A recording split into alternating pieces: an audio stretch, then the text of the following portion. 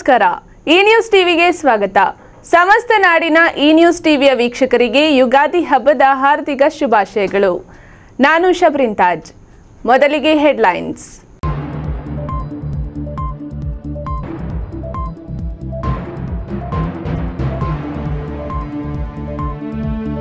ಮಾವಿನ ತೋಟಕ್ಕೆ ಬೆಂಕಿ. ಆರು ಎಕರೆ ಮಾವಿನ ತೋಟ ಭಸ್ಮ. ಸಾಲ ತೀರಿಸುವ ನಿರೀಕ್ಷೆ ಹೊತ್ತಿದ್ದ ರೈತನಿಗೆ ಬರಸಿಡಿಲು ವಸಂತ ಮಾಸದ ಆಗಮನ ಬಿರು ಬೇಸಿಗೆಯಲ್ಲೂ ಹೂ ಬಿಡುವ ಮರಗಳಿಂದ ದಾರಿ ಹೋಕರ ಮನಸ್ಸಿಗೆ ಆಹ್ಲಾದ ನೀಡುವ ಹೂಗಳು ಯುಗಾದಿ ಪ್ರಯುಕ್ತ ಪ್ರತಿ ವರ್ಷದಂತೆ ಈ ಬಾರಿಯೂ ತೋಪಿನಲ್ಲಿ ನೆಲೆಸಿರುವ ಚೌಡಮ್ಮ ದೇವಿಗೆ ವಿಶೇಷ ಪೂಜೆ, ಮೆರವಣಿಗೆ. ಅಸ್ಪೃಶ್ಯತೆ ಹೋಗಲಾಡಿಸುವ ನಿಟ್ಟಿನಲ್ಲಿ ಬಿಜೆಪಿ ಅಭ್ಯರ್ಥಿ ದಲಿತರ ಮನೆಗಳಿಗೆ ಭೇಟಿ, ಎಲ್ಲ ಜನ ಸಮಾನರು ಎಂಬ ಸಂದೇಶ ರವಾನೆ.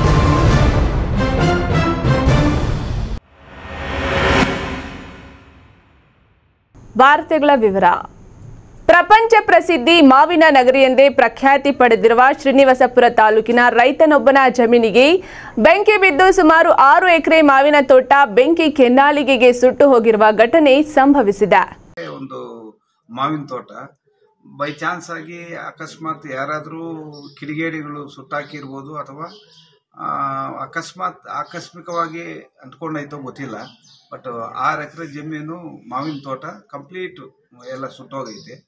ಆಲ್ರೆಡಿಯಾಗಿ ನೀವೆಲ್ಲ ನೋಡಿದಿರ ಈಗ. ಸೊ ಹಂಗೆ ಕೋಲಾರ ಜಿಲ್ಲೆ ಶ್ರೀನಿವಾಸಪುರ ತಾಲೂಕಿನ ನಂಬಿಹಳ್ಳಿ ಗ್ರಾಮದಲ್ಲಿ ಈ ಘಟನೆ ನಡೆದಿದ್ದು ನಾರಾಯಣ ಸ್ವಾಮಿಗೆ ಸೇರಿದ ಆರು ಎಕರೆ ಜಮೀನಿನಲ್ಲಿ ಬೆಳೆದಿದ್ದ ಸುಮಾರು ನಲವತ್ತು ವರ್ಷದ ಮಾವಿನ ಮರಗಳು ಬೆಂಕಿಗೆ ಆಹುತಿಯಾಗಿವೆ. ಸುಮಾರು ನನ್ನೂರಕ್ಕೂ ಅಧಿಕ ಮರಗಳು ಸುಟ್ಟು ಹೋಗಿದ್ದು ಅಲ್ಪ ಸ್ವಲ್ಪ ಗಿಡಗಳಲ್ಲಿ ಇದ್ದ ಪಿಂದಿ ಹಾಗೂ ಹೂವು ಕಳೆದ ಮೂರು ದಿನಗಳ ಹಿಂದೆ ಸುರಿದ ಭಾರೀ ಬಿರುಗಾಳಿ ಸಹಿತ ಆಲಿಕಲ್ಲು ಮಳೆಗೆ ನೆಲಕಚ್ಚಿವೆ. ಸಂಬಂಧಪಟ್ಟ ಅಧಿಕಾರಿಗಳು ಘಟನಾ ಸ್ಥಳಕ್ಕೆ ಭೇಟಿ ನೀಡಿ ಪರಿಹಾರಕ್ಕಾಗಿ ರೈತ ಮನವಿ ಮಾಡಿದ್ದಾನ. ತೋಟಕ್ಕೆ ಬೆಂಕಿ ಬಿದ್ದು ನಾನೂರ ಇಪ್ಪತ್ತು ಗಿಡ ಸುಟ್ಟಾಗಿದೆ ಸರ್. ಯಾವತ್ತಿತ್ತು ಬೆಂಕಿ?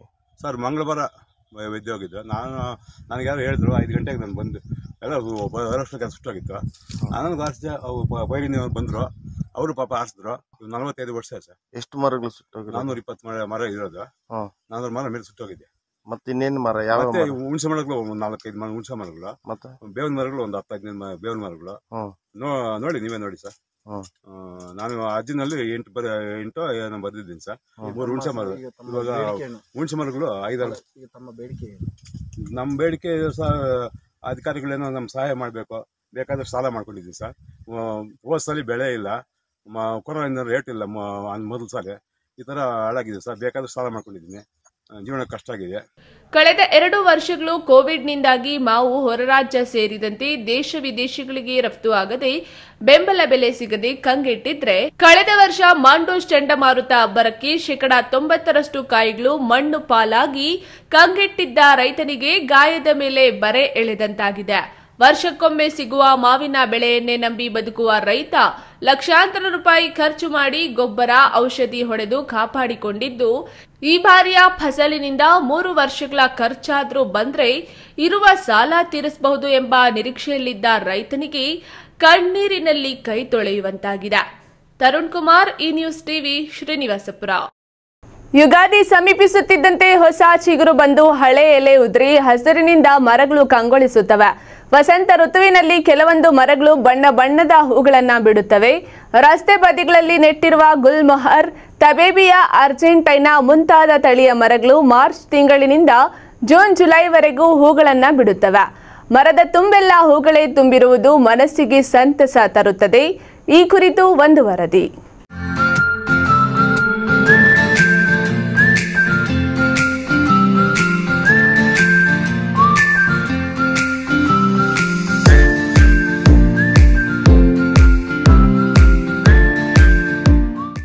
ಯುಗಾದಿ ಕಳೆದ್ರು ಯುಗಾದಿ ಮರಳಿ ಬರ್ತಿದೆ. ಹೊಸ ವರ್ಷಕ್ಕೆ ಹೊಸ ಹರುಷವ ಹೊಸತು ಹೊಸತು ತರ್ತಿದೆ ಎಂಬ ಹಾಡು ಎಲ್ಲ ಕಾಲಕ್ಕೂ ಪ್ರಸ್ತುತದಂತಿದ್ದು, ವಸಂತ ಕಾಲ ಬರುತ್ತಿದ್ದಂತೆ ಪ್ರಕೃತಿಯಲ್ಲಿ ಬಹಳಷ್ಟು ಬದಲಾವಣೆ ಆಗುತ್ತದೆ. ಬೇಸಿಗೆಯ ಬಿಸಿಲನ್ನ ಸ್ವಾಗತಿಸುತ್ತೇವೆ. ಇಂತಹ ಬೇಸಿಗೆ ಕಾಲದಲ್ಲಿ ಹೂ ಬಿಡುವ ಗಿಡಗಳು ಕಡಿಮೆ.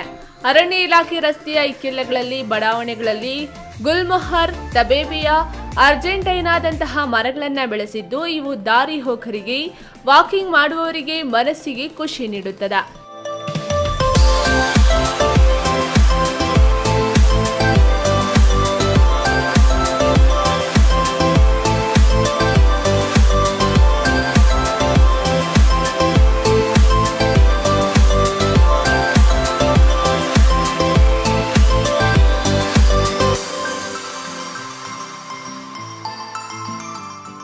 ಕೆಂಪು ಬಣ್ಣದ ಗುಲ್ಮೊಹರ್ ಎಲ್ಲರ ಗಮನವನ್ನ ಸೆಳೆಯುತ್ತದೆ. ಇನ್ನು ಹಳದಿ, ನೀಲಿ, ಪಿಂಕ್ ಬಣ್ಣದ ಹೂಗಳು ಗಮನ ಸೆಳೆಯುತ್ತವೆ. ಇವು ಸುವಾಸನೆ ರಹಿತವಾದರೂ ಗಮನವನ್ನು ತನ್ನತ್ತ ಸೆಳೆಯುತ್ತದೆ. ಮಾರ್ಚ್ನಿಂದ ಜುಲೈ ತಿಂಗಳವರೆಗೂ ಈ ಹೂಗಳನ್ನು ಕಾಣಬಹುದು. ಚಿಕ್ಕಬಳ್ಳಾಪುರ ಜಿಲ್ಲೆ ಸೇರಿದಂತೆ ಹಲವೆಡೆ ಇಂತಹ ಮರಗಳು ರಸ್ತೆ ಇಕ್ಕೆಲೆಗಳಲ್ಲಿ ಕಾಣಸಿಗುತ್ತವೆ ಈ news TV bureau Chikkaballapur.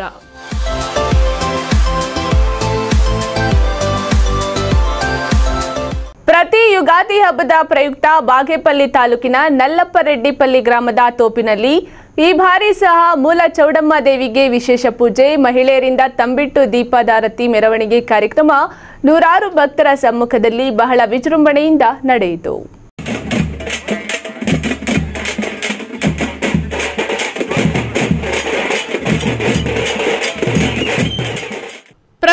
Ugadi ಹಬ್ಬದ ದಿನದಂದು ಬಾಗೇಪಲ್ಲಿ ತಾಲೂಕಿನ ನಲ್ಲಪ್ಪರೆಡ್ಡಿಪಲ್ಲಿ ಗ್ರಾಮದ ಚೌಡಮ್ಮ ದೇವಿಯ ತೋಪಿನಲ್ಲಿ ಪೋತೆಪಲ್ಲಿ ಪಾತಬಾಗೇಪಲ್ಲಿ ನಲ್ಲಪ್ಪರೆಡ್ಡಿಪಲ್ಲಿ ಪೋಲಮಾರಪ್ಪಲ್ಲಿ ರಾಯದುರ್ಗಂಪಲ್ಲಿ ಗ್ರಾಮಗಳ ಜನರು ಜಮಾಯಿಸುತ್ತಾರೆ. ಮೊದಲಿಗೆ ಪೋತೆಪಲ್ಲಿ ಗ್ರಾಮದಲ್ಲಿ ಚೌಡಮ್ಮ ದೇವಿಯ ಮೆರವಣಿಗೆ ಮಾಡಿದ ನಂತರ ಮಹಿಳೆಯರು ವಿಶೇಷ ಪೂಜೆ ಮಾಡಿ ದೇವಿಗೆ ತಂಬಿಟ್ಟಿನ ದೀಪಾರತಿ ಬೆಳಗಿದ್ರ.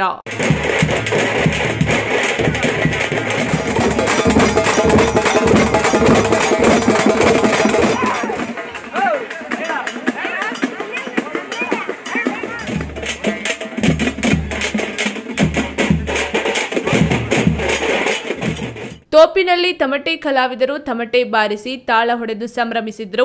ಬಾಗೇಪಲ್ಲಿ, ಚಿಕ್ಕಬಳ್ಳಾಪುರ, ಬೆಂಗಳೂರು ಸೇರಿದಂತೆ ವಿವಿಧ ಕಡೆಗಳಿಂದ ದೇವಿಯ ಭಕ್ತರು ಆಗಮಿಸಿ ಪೂಜೆ ಮಾಡಿದ್ರ. PS Rajesh E news TV Bagepalli. ಇದೀಗ ವಿರಾಮ ವಿರಾಮದ ನಂತರ ಈ ನ್ಯೂಸ್ ಟಿವಿ ಮತ್ತೆ ಮುಂದುವರಿಯುತ್ತದೆ. ಪರಿಶ್ರಮ ನೀಟ್ ಅಕಾಡೆಮಿ ಸಾಮಾನ್ಯ ಕುಟುಂಬದ ವಿದ್ಯಾರ್ಥಿಯನ್ನ ದೇಶದ ಅಸಾಮಾನ್ಯ ವೈದ್ಯರನ್ನಾಗಿ ರೂಪಿಸೋದು ನಮ್ಮ ಜವಾಬ್ದಾರಿ. ಒಂದು ವರ್ಷದ ನೀಟ್ ಲಾಂಗ್ ಟರ್ಮ್ಗೆ ದಾಖಲಾತಿಗಳು ಪ್ರಾರಂಭವಾಗಿದೆ. ಮಕ್ಕಳ ಹೈಯರ್ ಎಜುಕೇಶನ್ ಮಗಳ ಮದುವೆ. ಕನಸಿನ ಸ್ವಂತ ಮನೆ. ಇಷ್ಟಕ್ಕೆಲ್ಲ ಹಣ ಹೇಗ್ ಹೊಂದ್ಸೋದು ಅಂತ ಟೆನ್ಷನ್ ಅಲ್ಲಿದ್ದೀರಾ ಇರೋ ಚಿನ್ನನ ಅಡ ಇಡೋಕ್ ಹೋದ್ರೆ ಬಡ್ಡಿ ಮೇಲ್ ಬಡ್ಡಿ ಕಟ್ಬೇಕು. ಬೇಡ, ಮಾರ್ ಬಿಡೋಣ ಅಂದ್ರೆ ಅರ್ಧ ಬೆಲೆ ಕೇಳ್ತಾರೆ ಅನ್ನೋ ಆತಂಕದಲ್ಲಿದ್ದೀರಾ? ಟೆನ್ಷನ್ ಬಿಡಿ. ಹಿಂದೆ ಹಿಂದೂಸ್ತಾನ್ ಗೋಲ್ಡ್ ಕಂಪನಿಗೆ ಬನ್ನಿ. ನೀವು ಅಡ ಇಟ್ಟಿರೋ ಚಿನ್ನವನ್ನ ಬಿಡಿಸ್ತಾರೆ ಹಾಗೂ ನಿಮ್ಮಲ್ಲಿರೋ ಚಿನ್ನವನ್ನ ಇಂದಿನ ಆನ್ಲೈನ್ ಬೆಲೆಗೆ ಕೊಂಡುಕೊಂಡು ತಕ್ಷಣ ನಿಮ್ ಬಾಕಿ ಹಣ ಕೊಡ್ತಾರೆ. ಹಿಂದೂಸ್ತಾನ್ ಗೋಲ್ಡ್ ಕಂಪನಿ, ಇದು ನಿಮ್ಮ company. Hindustan Gold Company. It's your company.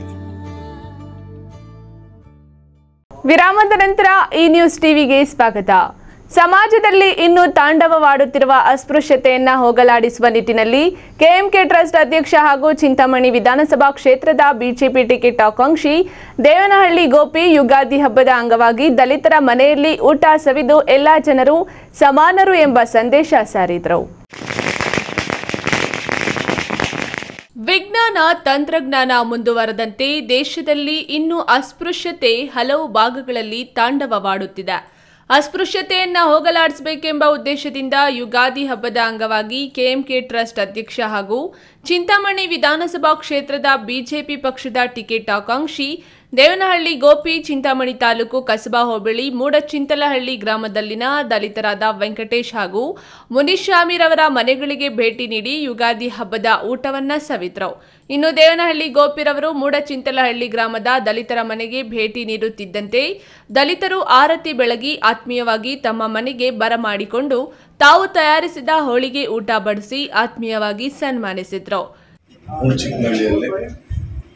ನಮ್ಮ ಸಂಪ್ರದಾಯ ಇವತ್ತು ಜಾತಿ ಭೇದ ಹೋಗಬೇಕು ಎಲ್ಲರೂ ಸಮಾನತೆಯನ್ನು ಇರಬೇಕು ಅನ್ನೋ ಒಂದು ಭಾವನೆಯಿಂದ ಈ ಆದಿಪುರುಷರೇ ಅಂತ ಆದಿ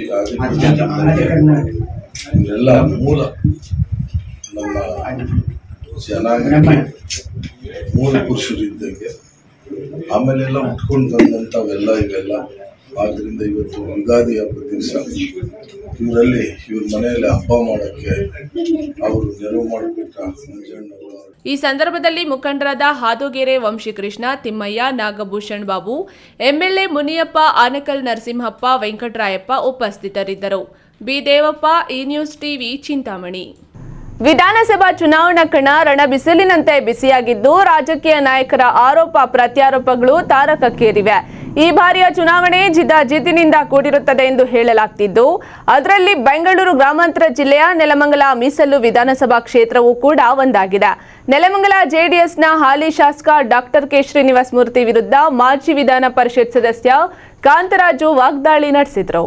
ನೆಲಮಂಗಲ ಪಟ್ಟಣದ ಖಾಸಗಿ ಹೋಟೆಲ್ನಲ್ಲಿ ಆಯೋಜಿಸಿದ್ದ ಸುದ್ದಿಗೋಷ್ಠಿಯಲ್ಲಿ ಮಾಜಿ ವಿಧಾನ ಪರಿಷತ್ ಸದಸ್ಯ ಕಾಂತರಾಜು ಮಾತನಾಡಿ, ನಮ್ಮ ತಂದೆ ದಿವಂಗತ ಕೃಷ್ಣಪ್ಪನವರ ಹೆಸರು ಹಾಗೂ ನನ್ನ ಹೆಸರು ಪ್ರಸ್ತಾಪಿಸಿ ಮಾತನಾಡುತ್ತಾರೆ. ಈ ಹಿಂದೆ ನಾವು ಜೆಡಿಎಸ್ಗೆ ಸಪೋರ್ಟ್ ಮಾಡುವ ಮೂಲಕ ಶ್ರೀನಿವಾಸ್ ಮೂರ್ತಿ ಅವರನ್ನು ಎರಡನೇ ಬಾರಿಗೆ ಶಾಸಕರನ್ನಾಗಿ ಮಾಡಿದ್ವಿ. ಆದರೆ, ರಾಜ್ಯದಲ್ಲಿ ಕುಮಾರಸ್ವಾಮಿ ಮುಖ್ಯಮಂತ್ರಿ ಆದಾಗ ಇವರು ಕ್ಷೇತ್ರದಲ್ಲಿ ಯಾರ ಕೈಗೂ ಸಿಗದೆ ಕಾಣೆಯಾಗಿದ್ರು. ನೆಲಮಂಗಲಕ್ಕೆ ಶಾಸಕರ ಅಭಿವೃದ್ಧಿ ಶೂನ್ಯ ಎರಡು ಬಾರಿ ಶಾಸಕರಾದರೂ ಅಷ್ಟೇ. ಆದರೆ ಕೆಲಸದಲ್ಲಿ ಮಾತ್ರ ಹೇಳಿಕೊಳ್ಳುವ ಮಟ್ಟಿಗೆ ಕೆಲಸ ಮಾಡಿಲ್ಲ. ಬರೀ ನಾಟಕ, ಹಾಡುವಂತ ಓಡಾಡಿದ್ರು. ಚುನಾವಣಾ ಹೊತ್ತಿನಲ್ಲಿ ಮಾತ್ರ ಜನರು ಕೆಲಸ ನೆನಪಿಗೆ ಬಂದಂತಿದೆ. ಶಾಸಕರು ನಲವತ್ತು ಪರ್ಸೆಂಟ್ ಗಿರಾಕಿ, ನಂಬರ್ ಒನ್ ಫ್ರಾಡ್. ಈ ಬಗ್ಗೆ ಅವರಲ್ಲಿ ಕೇಳಿ ಸಾಧ್ಯವಾದರೆ ಮುಖಾಮುಖಿ ಚರ್ಚೆ ಮಾಡುತ್ತೇನೆ. ಯಾವುದೇ ಕಾರಣಕ್ಕೂ ನಮ್ಮ ತಂದೆ ದಿವಂಗತ ಬಿಎಂಎಲ್ ಕೃಷ್ಣಪ್ಪನವರ ಹೆಸರು. ನಮ್ಮ ಹೆಸರನ್ನ ಬಳಸಿ ಚುನಾವಣೆಗೆ ಬರಬೇಡಿ. ನಿಮ್ಮ ಸಾಧನೆ ಕೆಲಸ ತೋರಿಸಿ ಬನ್ನಿ. ನಾವು ಈಗ ಕಾಂಗ್ರೆಸ್ನಲ್ಲಿ ಇದ್ದೀವಿ. ಕಾಂಗ್ರೆಸ್ ಪಕ್ಷವನ್ನ ಅಧಿಕಾರಕ್ಕೆ ತರುವ ಕಡೆ ನಮ್ಮ ಗಮನ ಎಂದು ವಾಗ್ದಾಳಿ ನಡೆಸಿದ್ರು. ಡಾಕ್ಟರ್ ಶ್ರೀನಿವಾಸ ಮೂರ್ತಿ ಏನು ಅಭಿವೃದ್ಧಿ ಮಾಡಿದ್ರು? ನಾನು ಸಹ ಹತ್ತು ವರ್ಷದಿಂದ ಅವರು, ಅವ್ರ ಪರನೇ ಪ್ರಾಮಾಣಿಕವಾಗಿ ದುಡ್ಡಿದ್ದೀನಿ ಕೈಗೆ ಸಿಗ್ಲಿದಂತ ಶಾಸಕರು, ಕೈಗೆ ಸಿಗ್ಲಿಲ್ಲ. ನೆನ್ಮಂಗಲ ತಾಲೂಕಲ್ಲಿ ಐದು ಪೈಸನು ಅಭಿವೃದ್ಧಿ ಮಾಡಲಿಲ್ಲ. ಕುಮಾರಸ್ವಾಮಿ ಮುಖ್ಯಮಂತ್ರಿಯಾಗಿ ಸರ್ಕಾರ ಒಂದ್ಮೇಲೆ ಎರಡು ಕೊಂಬನ್ ಬಿಟ್ಟಿದ್ದು. ಜನಕ್ಕೆ ಸಂಪರ್ಕ ಇಲ್ಲಂಗೆ ಆದ್ರು. ನಿನಗೆ ನಾನು ಡಾಕ್ಟರ್ ಶ್ರೀನಿವಾಸ ಮೂರ್ತಿ ಹೇಳ್ತೀನಿ. ನಿನ್ಗೆ ಯಾವುದೇ ತರಹದ ನೈತಿಕ ಹಕ್ಕಿಲ್ಲ. ನನ್ನ ಬಗ್ಗೆ ನನ್ನ ಹೆಸರು ತಗೊಳಕ್ಕೆ ಮತ್ತು ನಮ್ಮ ತಂದೆ ಬಿ ಎಂ ಎಲ್ ಕೃಷ್ಣಪ್ಪ ಅವ್ರ ಹೆಸರು ತಗೊಳಕ್ಕೆ ನೈತಿಕ ನಿಕ್ಕಿಲ್ಲ ನಮ್ಮ ಹೆಸರು ಹೇಳಂಗಿದ್ರೆ ನಮ್ಮ ಅಪ್ಪನ ಹೆಸರು, ನಮ್ಮ ಹೆಸರು ನೀವು ಕರೀರಿ. ಚರ್ಚೆಗೆ ನಾನೇ ಬರ್ತೀನಿ. ಎಲ್ಲಿಗೆ ಚರ್ಚೆಗೆ ಬರ್ತಾರೆ ಕೇಳಿ. ತುರುವೇಕೆರೆಯಲ್ಲಿ ಯಾವ ರೀತಿ ನಾನು ಅಭ್ಯರ್ಥಿಯಾಗಿ ಓಡಾಡ್ತೀನಿ? ನೆನಮಂಗದಲ್ಲೂ ನಾನೇ ಅಭ್ಯರ್ಥಿಯನ್ನಾಗಿ ಓಡಾಡ್ತೀನಿ. ಅವ್ರಿಗೆ ನೂರಕ್ಕೆ ನೂರು ಕಾಂಗ್ರೆಸ್ ಗೆದ್ದೇ ಗೆಲ್ತದೆ ಅಂತ ನನಗೆ ವಿಶ್ವಾಸ ಇದೆ. ಇವತ್ತು ನೆನಮಂಗದಲ್ಲಿ ಇದೆ. K KR E news TV, Nelamangala. ಕಳೆದೊಂದು ದಶಕಗಳಿಂದ ದೇಶವನ್ನ ಆಳುತ್ತಿರುವ ಬಿಜೆಪಿ ಸರ್ಕಾರ ತನ್ನ ಅಡಿ ಇರುವ ಸಂಸ್ಥೆಗಳ ಮೂಲಕ ವ್ಯವಸ್ಥಿತವಾಗಿ ಸಂವಿಧಾನ ಬದಲಾವಣೆ ಮಾಡುವ ಹುನ್ನಾರ ನಡೆಸಿದೆ. ನಮಗೆ ಗೊತ್ತಿಲ್ಲದ ಹಾಗೆ ನಾವೆಲ್ಲ ಮತ್ತೆ ಬ್ರಿಟಿಷರ ಕೈ ಕೆಳಗೆ ಗುಲಾಮರಂತೆ ಜೀವನ ನಡೆಸುವ ಕಾಲ ಸನ್ನಿಹಿತವಾಗುತ್ತಿದೆ. ಯುವಜನ ಎಚ್ಚೆತ್ತುಕೊಳ್ಳಬೇಕು, ಸಂವಿಧಾನ ರಕ್ಷಣೆ ಮೂಲಕ ಭಾರತವನ್ನ ಉಳಿಸಬೇಕು. ಇದಕ್ಕಾಗಿ ದೇಶದಾದ್ಯಂತ ಯುವಜನ ಅಭಿಯಾನ ಕೈಗೆತ್ತಿಕೊಳ್ಳಲಾಗಿದೆ ಎಂದು ಉಚ್ಚ ನ್ಯಾಯಾಲಯದ ನ್ಯಾಯವಾದಿ ಪ್ರೊಫೆಸರ್ ಹರಿರಾಮ್ ತಿಳಿಸಿದರು. ಚಿಕ್ಕಬಳ್ಳಾಪುರ ನಗರದ ಅಂಬೇಡ್ಕರ್ ಭವನದಲ್ಲಿ ಸಂವಿಧಾನ ಉಳಿಸಿ ಭಾರತ ರಕ್ಷಿಸಿ ಯುವಜನ ಅಭಿಯಾನವನ್ನ ವಕೀಲರು ಹಾಗೂ ಪ್ರಗತಿಪರ ಯುವಕರು ಹಮ್ಮಿಕೊಂಡಿದ್ದರು. ವೇದಿಕೆ ಕಾರ್ಯಕ್ರಮಕ್ಕೂ ಮುನ್ನ ನಗರದ ಹೊರವಲಯದ ಚದಲಪುರ ಗೇಟ್ನಿಂದ ಬೈಕ್ ರ್ಯಾಲಿಯನ್ನ ಅಂಬೇಡ್ಕರ್ ಭವನದವರೆಗೂ ಹಮ್ಮಿಕೊಳ್ಳಲಾಗಿತ್ತು. ಕಾರ್ಯಕ್ರಮದಲ್ಲಿ ಉಚ್ಚ ನ್ಯಾಯಾಲಯದ ನ್ಯಾಯವಾದಿ ಪ್ರೊಫೆಸರ್ ಹರಿರಾಮ್ ಮಾತನಾಡಿ, ಕಳೆದ ಹತ್ತು ವರ್ಷಗಳಿಂದ ಕೇಂದ್ರದಲ್ಲಿರುವ ಬಿಜೆಪಿ ಸರ್ಕಾರ ಸಂವಿಧಾನ ತಿದ್ದುಪಡಿಗೆ ನಾನಾ ಕಸರತ್ತು ನಡೆಸುತ್ತಿದೆ. ತಮ್ಮ ಅಡಿಯಲ್ಲಿ ಬರುವ ಸ್ಥಳೀಯ ಸಂಸ್ಥೆಗಳ ಮೂಲಕ ಸಂವಿಧಾನ ಬದಲಾವಣೆಗೆ ಒತ್ತಡಗಳನ್ನು ಹೇರಿಸಿಕೊಳ್ಳುತ್ತಿದೆ. ಹಾಗೇನಾದರೂ ಆದರೆ ಮುಂದಿನ ದಿನಗಳಲ್ಲಿ ದಲಿತರು, ಹಿಂದುಳಿದ ವರ್ಗಗಳು ನೆಮ್ಮದಿಯಿಂದ ಜೀವನ ನಡೆಸಲು ಸಾಧ್ಯವಿಲ್ಲ. ಬ್ರಿಟಿಷರ ಕಾಲದಲ್ಲಿ ಭಾರತೀಯರ ಬದುಕು ಹೇಗಿತ್ತೋ ಅದಕ್ಕಿಂತ ಹೀನಾಯ ಸ್ಥಿತಿಗೆ ದುಡುತ್ತಾರೆ ಶಿಕ್ಷಣ, ಉದ್ಯೋಗ ಮೀಸಲಾತಿಗೂ ಧೋಕಾ ಬರುತ್ತೆ. ಈ ಎಲ್ಲ ಅಪಾಯಕಾರಿ ಸ್ಥಿತಿ ಭಾರತ ದೇಶಕ್ಕೆ ಬರುವ ಮುನ್ನ ಯುವಜನ ಎಚ್ಚೆತ್ತುಕೊಳ್ಳಬೇಕು. ಸಂವಿಧಾನ ಓದಿ, ಸಂವಿಧಾನ ಉಳಿಸಿ ಅಭಿಯಾನ ಹಮ್ಮಿಕೊಂಡಿರುವ ಯುವಕರು, ಯುವ ವಕೀಲರು ದೇಶಾದ್ಯಂತ ಅಭಿಯಾನವನ್ನ ಇನ್ನಷ್ಟು ಚುರುಕುಗೊಳಿಸಬೇಕೆಂದು ಕರೆ ನೀಡಿದ್ರು. ಈಗ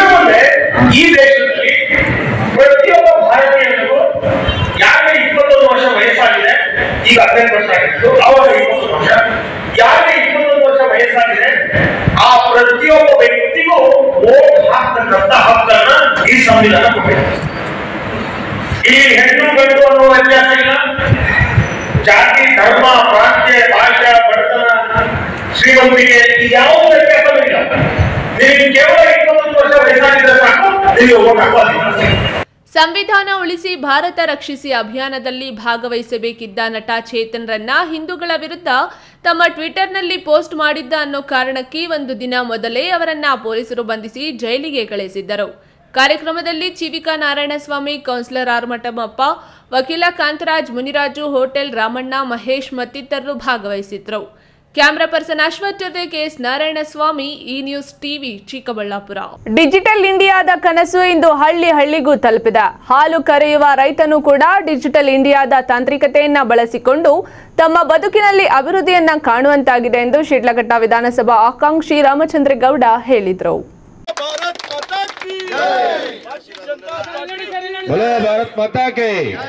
ಶಿಡ್ಲಘಟ್ಟ ತಾಲೂಕು ಚೀಮಂಗಲ ಗ್ರಾಮ ಪಂಚಾಯಿತಿಯ ಹೆಣ್ಣೂರು ಗ್ರಾಮದಲ್ಲಿನ ಕಾಂಗ್ರೆಸ್ ಹಾಗೂ ಜೆಡಿಎಸ್ನ ಕೆಲ ಕಾರ್ಯಕರ್ತರು ತಮ್ಮ ಪಕ್ಷವನ್ನು ಬಿಟ್ಟು ಬಿಜೆಪಿ ಪಕ್ಷಕ್ಕೆ ಸೇರ್ಪಡೆಗೊಂಡರು. ಮುಖಂಡ ಸೀಕಲ್ ರಾಮಚಂದ್ರ ಗೌಡ ಮಾತನಾಡಿ, ಮೋದಿ ನೇತೃತ್ವದ ಕೇಂದ್ರ ಸರ್ಕಾರ ಮತ್ತು ಬೊಮ್ಮಾಯಿ ನೇತೃತ್ವದ ರಾಜ್ಯ ಸರ್ಕಾರವು ಜಾರಿ ಮಾಡಿದ ಜನಪರ ಕಾರ್ಯಕ್ರಮಗಳೇ ನಮಗೆ ಶ್ರೀರಕ್ಷೆ. ಅವುಗಳನ್ನು ಮುಂದಿಟ್ಟುಕೊಂಡೇ ನಾವು ಚುನಾವಣೆಯನ್ನು ದಿಟ್ಟವಾಗಿ ಎದುರಿಸುತ್ತೇವೆ. ಶಿಡ್ಲಘಟ್ಟದಲ್ಲಿ ಬಿಜೆಪಿ ಆಟ ಕುಂಟು ಲೆಕ್ಕಕ್ಕಿಲ್ಲ ಎಂದು ವಿರೋಧ ಪಕ್ಷಗಳ ನಾಯಕರು ನಮ್ಮನ್ನ ಟೀಕಿಸುತ್ತಿದ್ದರು. ಆದರೀಗ ಪರಿಸ್ಥಿತಿ ಅದೇ ರೀತಿ ಇಲ್ಲ. ವಿರೋಧಿಗಳ ಟೀಕೆಗೆ ಉತ್ತರಿಸುವಷ್ಟು ಗಟ್ಟಿಯಾಗಿ ಇಲ್ಲಿ ಪಕ್ಷ ಸಂಘಟನೆಯಾಗಿದೆ ಎಂದು ಹೇಳಿದರು. ಕಾಂಗ್ರೆಸ್ ಮತ್ತು ಜೆ ಡಿ ಎಸ್ ಏನು ಎಲ್ಲ ರಾಜ್ಯ ಮಟ್ಟಕ್ಕೆ ಮಾತಾಡ್ತಾ ಇದ್ರು. ಶಿಡ್ಲಘಟ್ಟದಲ್ಲಿ ಬಿ ಜೆ ಪಿ ಇಲ್ಲ. ಓನ್ಲಿ ಜೆ ಡಿ ಎಸ್ಸು ಮತ್ತು ಕಾಂಗ್ರೆಸ್ ಅಂತ. ಈ ದಿನ ಒಂದು ರಾಜ ಈ ಈ ಒಂದು ಅತ್ತದ್ದು ಅತ್ಯದ್ಭುತವಾಗಿ ಈ ದಿನ ಸೇರ್ಪಡೆ ಕಾರ್ಯಕ್ರಮ ಇಪ್ಪತ್ತು ನಾಲ್ಕು ಜನ ಅಂದರೆ ಹಳ್ಳಿ ಭಾಷೆ ಎರಡು ಡಜನ್. ಎರಡು ಡಜನ್. ಎರಡು ಡಜನ್. ಡಜನ್ ಜನ. ಈ ಗ್ರಾಮ ನೋಡ್ತಾ ಇದ್ದೀವಿ. ಈ ಗ್ರಾಮ ನೋಡ್ತಾ ಇದ್ದೀವಿ. ಮೋದಿ ಎಷ್ಟು ಮಟ್ಟಕ್ಕೆ ಗ್ರಾಮ ಮಟ್ಟಕ್ಕೆ ತಲುಪಿದ್ದಾರೆ. Digital India digital India work ಆಗಿದೆ ಅಂತ ಇವತ್ತು ಪ್ರೂವ್ ಆಗಿದೆ. ತುಂಬ ಮಾಹಿತಿ ಕೊರತೆ ಇತ್ತು. ಹಳ್ಳಿ ಭಾಗದಲ್ಲಿ ರೈತರಿಗೆ ವಿದ್ಯಾಭ್ಯಾಸ ಇರಲಿಲ್ಲ. ಬಡ ಮಕ್ಕಳಿಗೆ ವಿದ್ಯಾಭ್ಯಾಸ ಇರಲಿಲ್ಲ. ಈಗ ಈ ಡಿಜಿಟಲ್ ಇಂಡಿಯಾ ಮೋದಿಜಿಯವರ ಕೊಡುಗೆ. ಹಂಗಾಗಿ ಮನೆ ಇದೇ ರೀತಿ ಮೋದಿಜಿಯವರ ಬಜೆಟ್ಟು ನಮ್ಮ ಬಾ, ರಾಜ್ಯದ ಬಜೆಟ್ಟು ಮನೆ ಮನೆ ಬಾಗಿಲಿಗೆ ತಲುಪ್ತಕ್ಕಂಥ ಕೆಲಸ ಕೆಲಸ ಮಾಡಬೇಕಂದ್ರೆ ನಮ್ಮ ಗ್ರಾಮದಲ್ಲಿ ಗ್ರಾಮದ ಮುಖಂಡರು ಅವಶ್ಯಕತೆ ಇದೆ. ಯಾಕಂದರೆ ಮೋದಿಜಿಯವರು ಕೊಡ್ತಕ್ಕಂಥ ಕೊಡುಗೆ ಅವ್ರ ಮನೆ ಬಾಗಿಲು ಕೊಡಬೇಕಂತ ಹೇಳಿದ್ರೆ ನಾವೆಲ್ಲ ಸಿಪಾಯಿಗಳ ತರ ಕೆಲಸ ಮಾಡಬೇಕು ಈ ದಿನ. ಈ ಸಂದರ್ಭದಲ್ಲಿ ಮಾಜಿ ಶಾಸಕ ಎಂ ರಾಜಣ್ಣ, ಮುಖಂಡರಾದ ಸುರೇಂದ್ರೇಗೌಡ ಆಂಜನೇಯ ರೆಡ್ಡಿ, ಸ್ಕೂಲ್ ದೇವರಾಜ್ ಮತ್ತಿತರರು ಹಾಜರಿದ್ದರು. ವೀರಪ್ರ ಮಂಜುನಾಥ್ ಈ ನ್ಯೂಸ್ ಟಿವಿ, ಶಿಡ್ಲಘಟ್ಟ. ಪ್ರಸ್ತುತ ದಿನಗಳಲ್ಲಿ ಮಕ್ಕಳ ಮಾನವೀಯ ಮೌಲ್ಯಗಳನ್ನು ಕಳೆದುಕೊಳ್ಳುತ್ತಿರುವುದು ಕಳವಳಕಾರಿ ಸಂಗತಿಯಾಗಿದ್ದು, ಈ ನಿಟ್ಟಿನಲ್ಲಿ ಪೋಷಕರು ಮಕ್ಕಳಿಗೆ ಶಿಕ್ಷಣ ಒದಗಿಸುವ ಜೊತೆಗೆ ಮಾನವೀಯ ಮೌಲ್ಯ ಬೆಳೆಸಿ ಸತ್ಪ್ರಜೆಗಳನ್ನಾಗಿಸಬೇಕೆಂದು ಶಾಂತಿನಿಕೇತನ ವಿದ್ಯಾಸಂಸ್ಥೆಯ ಅಧ್ಯಕ್ಷ ಕೃಷ್ಣಕುಮಾರ್ ಸಲಹೆ ನೀಡಿದರು. ಚಿಕ್ಕಬಳ್ಳಾಪುರ ನಗರದ ಪ್ರೆಸಿಡೆನ್ಸಿ ಶಾಲೆಯ ಯುಕೆಜಿ ವಿದ್ಯಾರ್ಥಿಗಳಿಗೆ ಪದವಿ ಪ್ರದಾನ ಹಾಗೂ ಎಸ್ಎಸ್ಎಲ್ಸಿ ವಿದ್ಯಾರ್ಥಿಗಳಿಗೆ ಬೀಳ್ಕೊಡುಗೆ ಸಮಾರಂಭ ಹಮ್ಮಿಕೊಳ್ಳಲಾಗಿತ್ತು. ಈ ವೇಳೆ ಶಾಂತಿನಿಕೇತನ್ ಶಾಲೆಯ ಅಧ್ಯಕ್ಷ ಕೃಷ್ಣಕುಮಾರ್ ಮಾತನಾಡಿ, ಪೋಷಕರು ಮಕ್ಕಳ ಬಗ್ಗೆ ಕಾಳಜಿ ವಹಿಸದ ಹಿನ್ನೆಲೆಯಲ್ಲಿ ಅವರಲ್ಲಿ ವಿನಯ, ವಿಧೇಯತೆ ಎಂಬುದು ಇಲ್ಲವಾಗಿದೆ. ಈ ನಿಟ್ಟಿನಲ್ಲಿ ಮಕ್ಕಳಲ್ಲಿ ಭದ್ರ ಬುನಾದಿ ಹಾಕಿಕೊಡಲು ಪೋಷಕರು ಶ್ರಮಿಸಬೇಕೆಂದು ಅಭಿಪ್ರಾಯಪಟ್ಟರು. ಕಳೆದ ಸಾಲಿನಲ್ಲಿ ಎಸ್ಎಸ್ಎಲ್ಸಿ ಪರೀಕ್ಷೆಯಲ್ಲಿ ಅತ್ಯುನ್ನತ ಶ್ರೇಣಿಯಲ್ಲಿ ತೇರ್ಗಡೆಯಾದ ಮಹೇಶ್, ಮಾಹಿತ್, ಭರದ್ವಾಜ್, ಚಿರಸ್ವಿ ಅವರನ್ನು ಸನ್ಮಾನಿಸಲಾಯಿತು. ಈ ಸಂದರ್ಭದಲ್ಲಿ ಶಾಲೆ ಮುಖ್ಯ ಶಿಕ್ಷಕ ಮುಸ್ತಾಕ್, ಶಿಕ್ಷಕರಾದ ಹರೀಶ್, ಚಂದ್ರಶೇಖರ್, ಮೋಹನ್ ಬಾಬು ಮತ್ತಿತರರು ಉಪಸ್ಥಿತರಿದ್ದರು. ಕೆಎಸ್ ನಾರಾಯಣಸ್ವಾಮಿ, ಈ ನ್ಯೂಸ್ ಟಿವಿ ಚಿಕ್ಕಬಳ್ಳಾಪುರ. ಇದೀಗ ವಿರಾಮ, ವಿರಾಮದ ನಂತರ ಈ ನ್ಯೂಸ್ ಟಿವಿ ಮತ್ತೆ ಮುಂದುವರಿಯುತ್ತದೆ.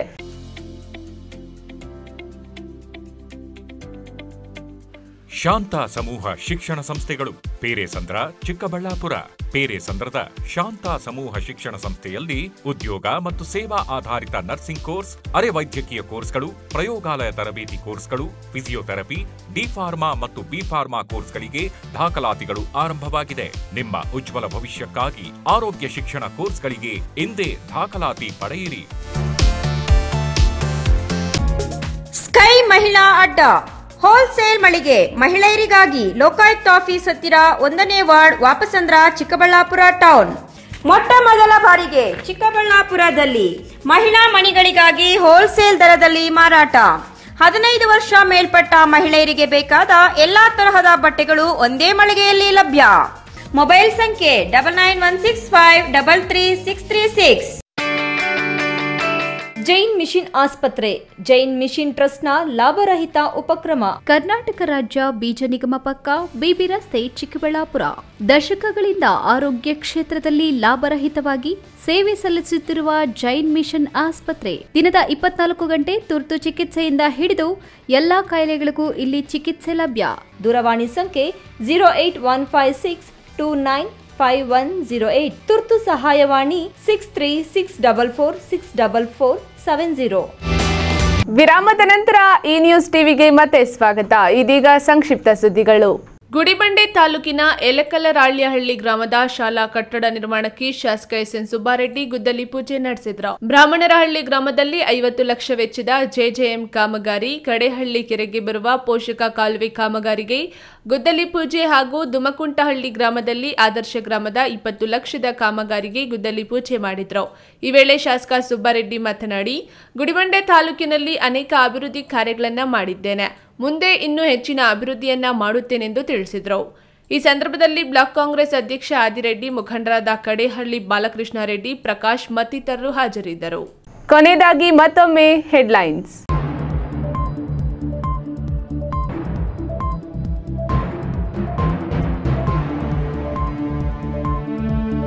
ಮಾವಿನ ತೋಟಕ್ಕೆ ಬೆಂಕಿ. ಆರು ಎಕರೆ ಮಾವಿನ ತೋಟ ಭಸ್ಮ. ಸಾಲ ತೀರಿಸುವ ನಿರೀಕ್ಷೆ ಹೊತ್ತಿದ್ದ ರೈತನಿಗೆ ಬರಸಿಡಿಲು ವಸಂತ ಮಾಸದ ಆಗಮನ ಬಿರು ಬೇಸಿಗೆಯಲ್ಲೂ ಹೂ ಬಿಡುವ ಮರಗಳಿಂದ ದಾರಿ ಹೋಕರ ಮನಸ್ಸಿಗೆ ಆಹ್ಲಾದ ನೀಡುವ ಹೂಗಳು ಯುಗಾದಿ ಪ್ರಯುಕ್ತ ಪ್ರತಿ ವರ್ಷದಂತೆ ಈ ಬಾರಿಯೂ ತೋಪಿನಲ್ಲಿ ನೆಲೆಸಿರುವ ಚೌಡಮ್ಮ ದೇವಿಗೆ ವಿಶೇಷ ಪೂಜೆ, ಮೆರವಣಿಗೆ. ಅಸ್ಪೃಶ್ಯತೆ ಹೋಗಲಾಡಿಸುವ ನಿಟ್ಟಿನಲ್ಲಿ ಬಿಜೆಪಿ ಅಭ್ಯರ್ಥಿ ದಲಿತರ ಮನೆಗಳಿಗೆ ಭೇಟಿ, ಎಲ್ಲ ಜನ ಸಮಾನರು ಎಂಬ ಸಂದೇಶ ರವಾನೆ. ದಿನನಿತ್ಯದ ವೈಭವೀಕರಣವಿಲ್ಲದ ನೈಜ ಸುದ್ದಿಗಳಿಗಾಗಿ ತಪ್ಪದೆ ವೀಕ್ಷಿಸಿ ಈ ನ್ಯೂಸ್ ಟಿವಿ.